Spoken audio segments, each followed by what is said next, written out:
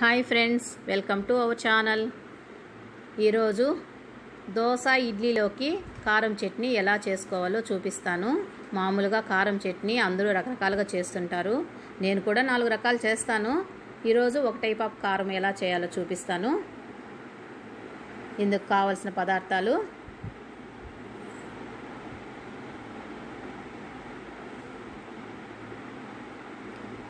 కొద్దిగా పచ్చిశనగపప్పు వెల్లుల్లి రెబ్బలు కట్ చేసి పెట్టుకున్న టమాటా ముక్కలు ఎండుమిర్చి కట్ చేసి పెట్టుకున్న ఆనియన్స్. ఇప్పుడు స్టవ్ వెలిగించి కడాయి పెట్టుకొని అందులోకి ఈ ముక్కలన్నీ వేసుకొని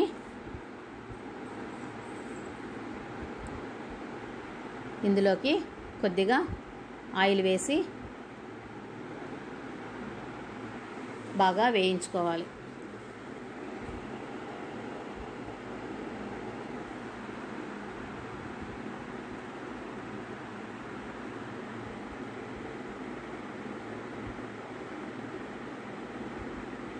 చూడండి ఇలా బాగా వేగినాక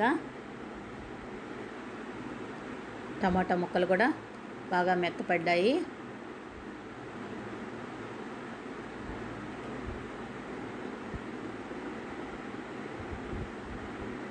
ఇప్పుడు ఈ ముక్కలన్నీ ఒక మిక్సీ జార్లోకి వేసుకొని కొద్దిగా రుచికి సరిపోయేంత ఉప్పు కూడా యాడ్ చేసి మిక్సీ పట్టించుకోవాలి.